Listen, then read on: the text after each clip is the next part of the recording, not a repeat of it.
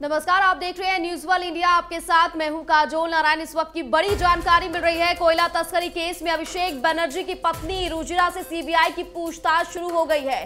कोयला तस्करी में जाँच का दायरा बढ़ते हुए पश्चिम बंगाल की मुख्यमंत्री ममता बनर्जी के परिवार तक पहुँच चुका है। इसके लिए सीबीआई की टीम अभिषेक बनर्जी के घर पहुँची हुई है।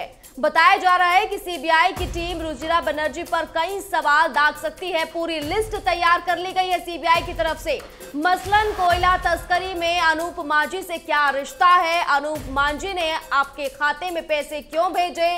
अनूप मांझी का नाम कोयला घोटाले में मुख्य आरोपी के तौर पर सामने आया है। ऐसे तमाम सवाल हैं। जो रुजीरा बनर्जी से पूछे जा सकते हैं। रुजीरा बनर्जी पर तीन बड़े आरोप लगाए जा रहे हैं और पूरी लिस्ट तैयार कर ली गई है और पूछताछ शुरू हो चुकी है रुजीरा बनर्जी से।